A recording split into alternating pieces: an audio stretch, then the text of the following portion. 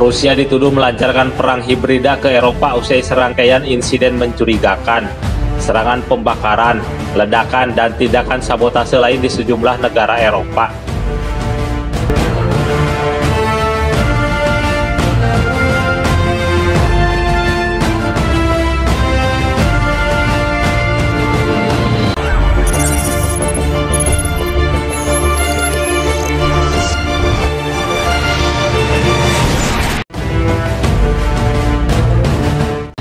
Dua kabel komunikasi serat optik bawah laut di Laut Baltik termasuk satu yang menghubungkan Finlandia dan Jerman putus pada Senin 18 November 2024. Hal ini terjadi saat wilayah Eropa sedang menghadapi ketegangan dengan Rusia, sehingga menimbulkan kecurigaan. Dalam laporan Reuters, perusahaan keamanan cyber dan telekomunikasi milik negara Finlandia, Cinia mengatakan, kabel Sea Lion One sepanjang 1.200 km yang menghubungkan Helsinki ke pelabuhan Rostock di Jerman berhenti bekerja Senin sekitar pukul 2 waktu setempat. Jaringan kabel internet BCSSW sepanjang 218 km antara Lithuania dan Pulau Gotland di Swedia berhenti beroperasi. Minggu sekitar pukul 8 waktu setempat.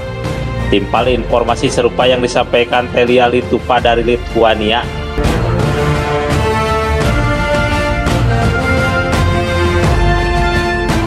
Finlandia dan Jerman mengatakan dalam pernyataan bersama bahwa mereka sangat prihatin dengan kabel bawah laut yang putus. Berlin dan Helsinki juga menyatakan sedang menyelidiki insiden yang menimbulkan kecurigaan adanya kerusakan yang disengaja.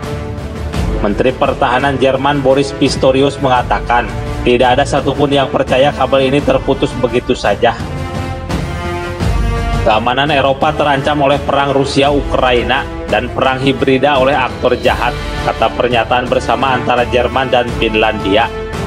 Di sisi lain, Menteri Pertahanan Sipil Swedia Oskar Bohlin mengatakan pihaknya ragu mengapa sampai ada dua kabel yang putus di perairan utara Eropa tersebut.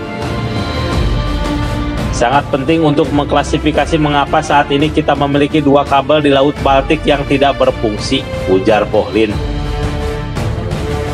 Keamanan Eropa terancam oleh perang Rusia melawan Ukraina. Sejumlah besar negara Eropa telah mengambil langkah untuk mendukung Ukraina dengan memberikan bantuan persenjataan pada Kyiv dan sanksi pada Rusia agar ekonomi Moskow tidak stabil dan tidak mampu membiayai perang.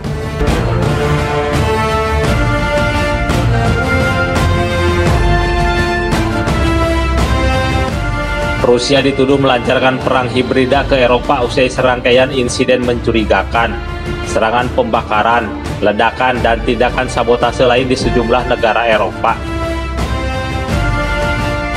Gangguan kabel ini terjadi beberapa pekan usai Amerika Serikat mewanti-wanti Rusia mungkin bakal menargetkan infrastruktur bawah laut.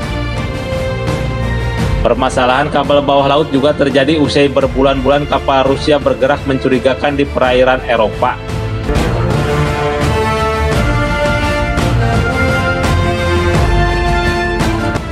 Tahun lalu jaringan pipa gas bawah laut dan beberapa kabel telekomunikasi yang membentang di sepanjang dasar Laut Baltik rusak parah dalam sebuah insiden yang menimbulkan tanda bahaya di wilayah tersebut. Penyelidikan kasus 2023 di Finlandia dan Estonia telah menyebutkan nama sebuah kapal kontainer berbendera Cina yang mereka yakini menyeret jangkar dan menyebabkan kerusakan. Namun mereka belum mengatakan apakah kerusakan itu disengaja atau tidak.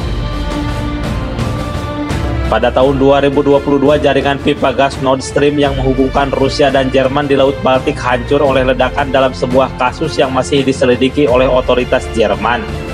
Meski begitu, sebuah laporan menyebut putusnya gas pipa itu merupakan sabotase dari pihak Ukraina.